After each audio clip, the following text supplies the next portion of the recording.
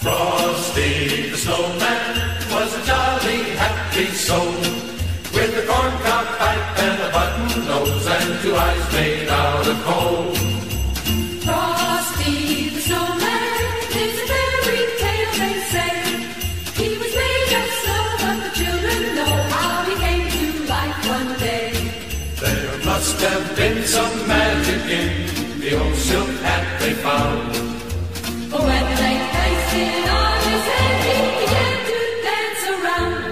Oh, Frosty the snowman was alive as he could be. And the children say he could laugh and play just the same as you and me.